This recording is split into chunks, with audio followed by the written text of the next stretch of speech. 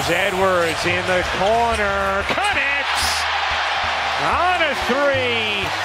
19 already for 22-year-old Anthony Edwards. Porter swims in, banks it home, and a chance for three for Michael Porter Jr.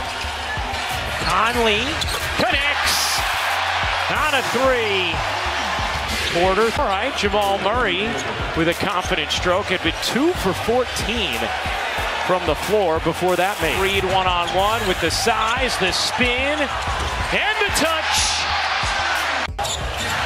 Boy, most of this crowd has been standing the entire second half, and they'll stay standing now.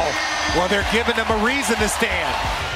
Murray, slick handle, and the floater is good for Jamal Murray. Towns the fake, the take, and the slam. A 20 to nothing Minnesota run. Jokic from the free throw line finally drops one in.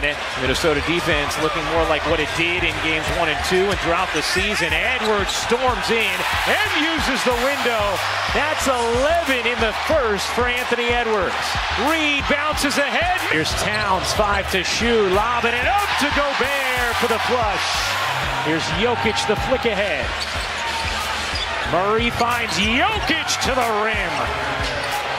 And right now, this is one of those games where both teams have to just settle down. Just Porter gets free for the slam. Pat needs to stay out of foul trouble so that that's an option for us.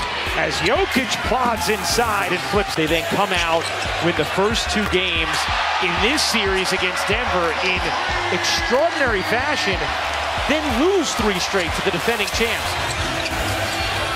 It played the whole possession, and it bared chicken for Minnesota. A 49-point lead. They're on a 24 to nothing run. This is ridiculous. Naji flushes it down. Timberwolves are about to play their first game seven in 20 years.